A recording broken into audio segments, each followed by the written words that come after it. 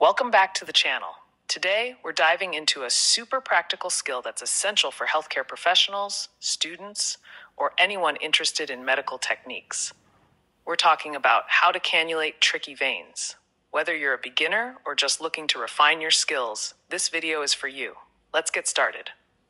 First things first, let's talk about preparation. Cannulating tricky veins requires patience, the right tools, and a solid technique. Here's what you'll need a cannula, choose the right size for the patient, a tourniquet, alcohol wipes, gloves, and of course, confidence. Step one assess the vein. Tricky veins can be small, deep, or rolling.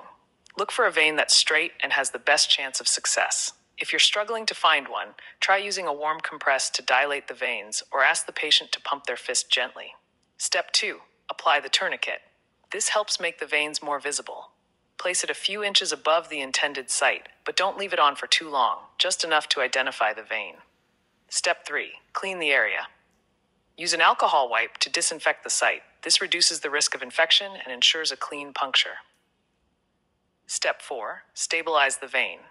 For tricky veins, use your non dominant hand to anchor the vein by gently pulling the skin taut. This prevents the vein from rolling. Step 5 Insert the cannula. Hold the cannula at a 15 to 30 degree angle, depending on the depth of the vein. Insert it smoothly and watch for a flashback of blood in the chamber. Once you see that, lower the angle and advance the cannula slightly further into the vein. Step 6 Thread the cannula. While holding the needle steady, gently thread the plastic cannula into the vein. Then, remove the needle and release the tourniquet. And that's it. Remember, practice makes perfect. If you don't succeed on the first try, don't get discouraged. Tricky veins can be challenging, but with these tips, you'll improve over time. Here are a few bonus tips. Use a vein finder device if available. Communicate with your patient to keep them calm and still. Always have a backup plan in case the first attempt doesn't work. Thanks for watching.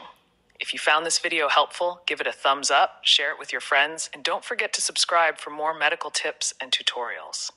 Let me know in the comments if you've ever dealt with tricky veins and what techniques worked for you.